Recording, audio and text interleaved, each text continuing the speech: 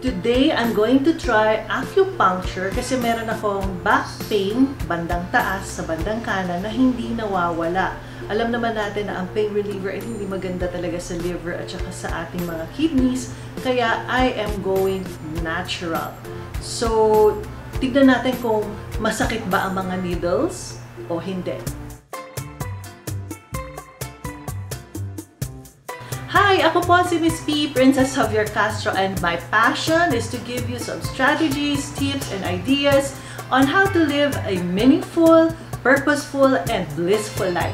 Ang, uh, ang tawag dito, ang um, yung mga effects, of course, kunyari, nag-undergo ka na ng acupuncture therapy, at meron kang sakit na gustong i-address or meron kang, kunyari, just a simple energy boost, kailan mo malalaman, kailan mo mafe-feel yung uh, effect? Mm ng therapy or ng treatment? Madalas itanong sa akin ng mga pasyente. So, ang sinasabi ko lang sa kanila, depende sa inyong uh, kondisyon. Katawan. Kung ang inyong uh, sakit ay chronic or acute. Kung acute kasi, maramdaman mo agad yung malaking pagbabago at uh, kaginhawahan right after the treatment mismo. Hmm. Sa mga may mga malalalang sakit naman at matatagal na, mga ilang taon na nilang dinadala, so depende sa response ng kanilang body. At dapat maging masunurin sila sa kanilang doktor or acupuncturist kung paano ang tamang lifestyle para mas lalong maging epektibo yung treatment. treatment sa kanila. Oh. Dahil kung hindi nila masusunod yung mga tamang uh, lifestyle na advice sa kanila, So nababaliwala yung pag-boost ng kanilang immunity, pag-tonify, yung healing process hindi nagiging consistent o mas epektibo. So kailangan natin ng in short, discipline is the key. Gaano katagal? Uh, gaano katagal yung uh, uh, ang tawag dito yung gaano katagal yung ano, yung treatment, uh, treatment oo. Treatment. Like how long? Like gaano katagal yung per treatment at saka ilang beses ba per week ginagawa? Okay. Pag acute condition, uh, 2 to 3 times a week, okay na. Kung hindi kaya ng pasyente mag 3 uh, times a week, bumisita sa clinic, so at least uh, once a week sa isang buwan. Pero sa unang linggo, kailangan makadalawa at tatlong beses siya.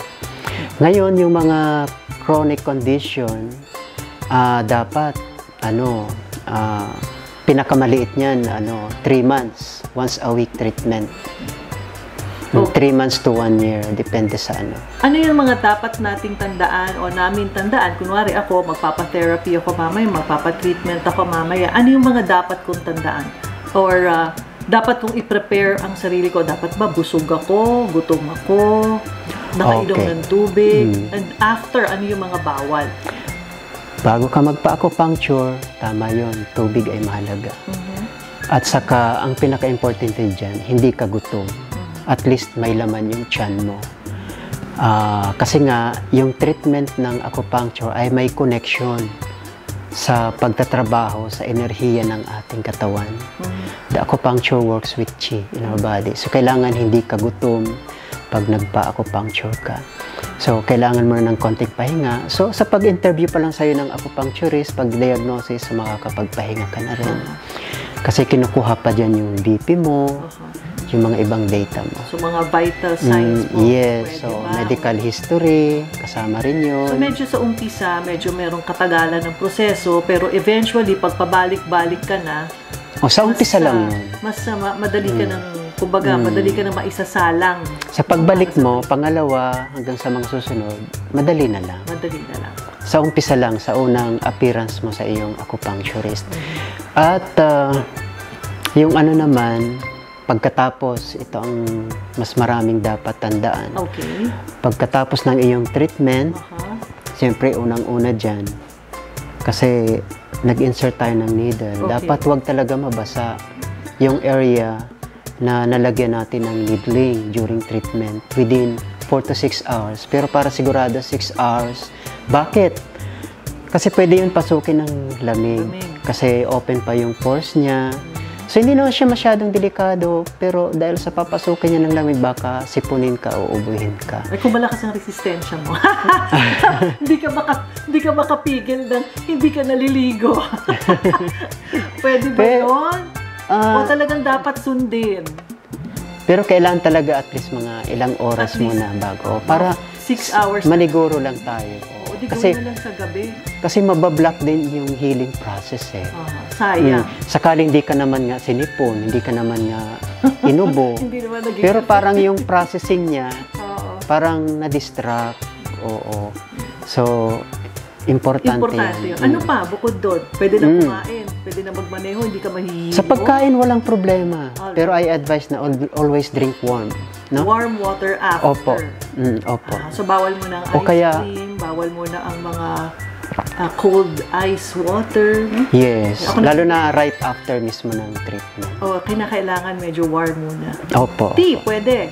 Yes. Hot tea, Hot tea. Mm. Or warm water. turmeric tea, mga ganyan. Oo. And then, uh, uh, kailangan din na mag-relax. Mag-relax. I-relax. Hindi ka agad pagkatapos ng treatment, bangon agad. O ang mahirap nga yung iba eh, habang nasa treatment, nagbabrowse pa sa cellphone, Oo. o kaya manunod agad ng TV, pagdating sa bahay, magbababad sa teleserye.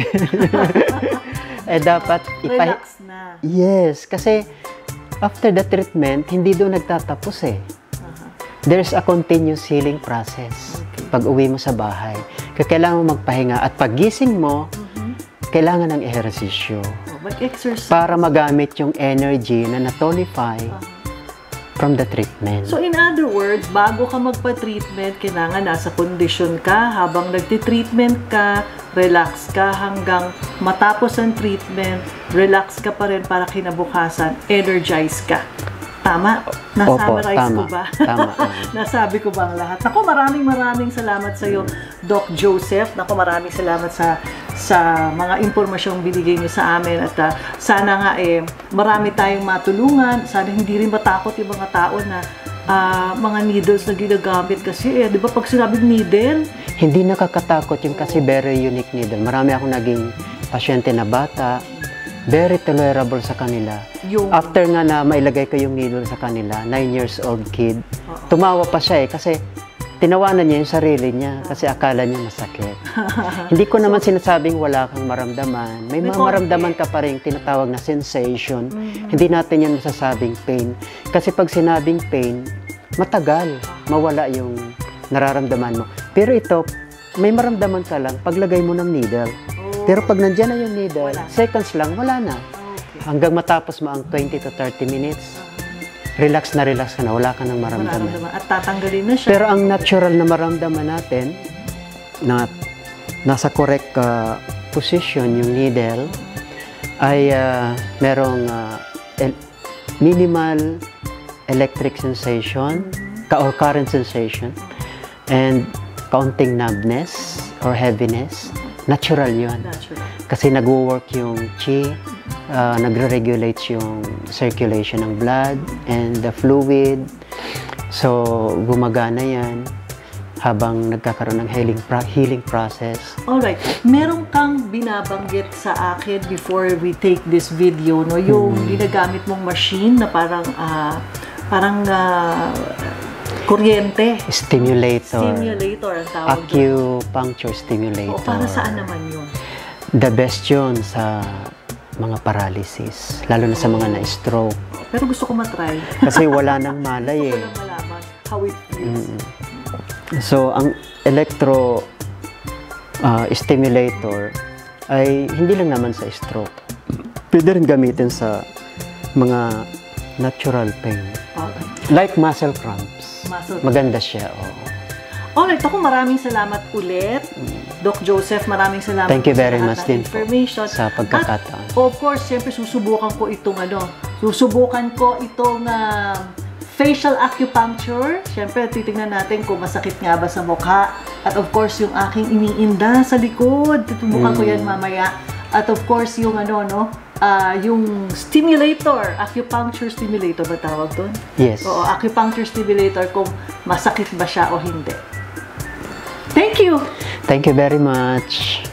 Kung nagustuhan ninyo ang video na ito, thumbs up naman dyan. Subscribe and share, of course.